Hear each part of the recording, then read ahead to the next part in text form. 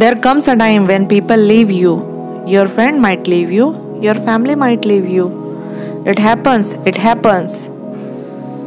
Those you never expected would actually distance themselves. Don't get depressed. It's Allah telling you they have all gone. It's just you and calm, Subhanallah. Allah is here for you, He will always be here.